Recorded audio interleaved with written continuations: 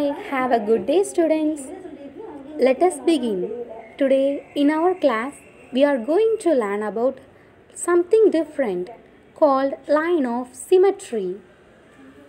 Let's start. Look at the star. Now, let's fold this figure in half. You will notice that both the half match each other exactly.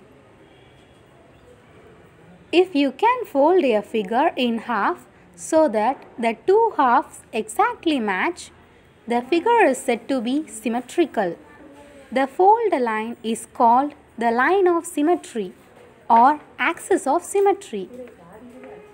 Here, the line AG is one such line of symmetry. The others are line BH, line CI, line DJ, line EK and line FL. Thus, we say that star is divided in six lines of symmetry. Now, let's draw the line of symmetry for the given figure. Figure 1. A rectangle. Here, we can divide a figure into two equal halves by folding it vertically or horizontally. Thus, we say a rectangle has two lines of symmetry. Figure 2. An apple. Here, we cannot divide an apple into two equal halves.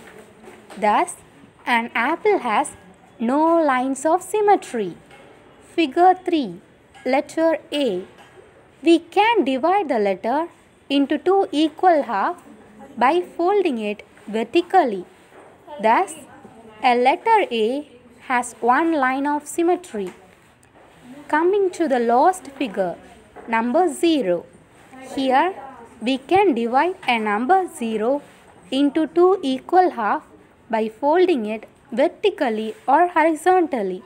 Thus, we say that a number 0 has two line of symmetry. Okay, now it's time for you to practice line of symmetry on your own. Thank you.